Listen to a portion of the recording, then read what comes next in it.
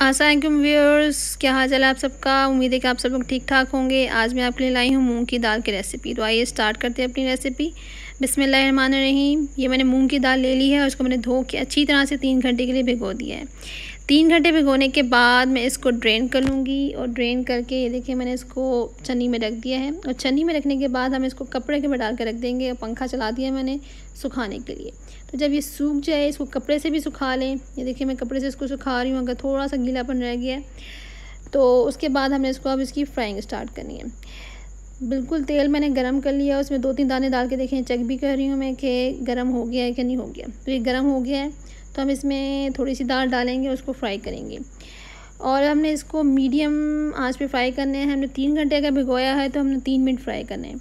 अगर हम ज़्यादा देर फ्राई करेंगे तो ज़्यादा ब्राउन हो जाएगी और बहुत ज़्यादा क्रिस्पी हो जाएगी तो बहुत ज़्यादा सख्त हो जाएगी, खाने में मज़ा नहीं आएगा।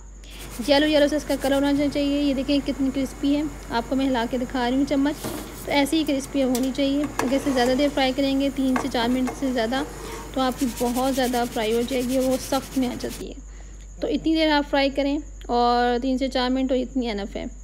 तो ये देखिए हमारी सारी की सारी दाल हो गई है। अब मैं इसको ड्रेन कर रही हूँ ऑयल को और ड्रेन करने के बाद इसको थोड़ी देर रखूँगी ताकि इसको ऑयल अच्छी तरह से निकल जाए। तो जब ऑयल निकल जाएगा तो इसमें हम नमक और चाट मसाला डाल के छिड़केंगे और उसको मज़े से शाम की चाय के साथ आप खा सकते हैं। अगर आपको रेसिपी अच्छी लगे तो मेरे चैनल को लाइक ज़रूर कीजिएगा और सब्सक्राइब करना भी बिल्कुल ना भूलिएगा। तो ये हमारी मूँग की दाल तैयार है। अब आप इसको शाम की चाय के साथ इंजॉय करें।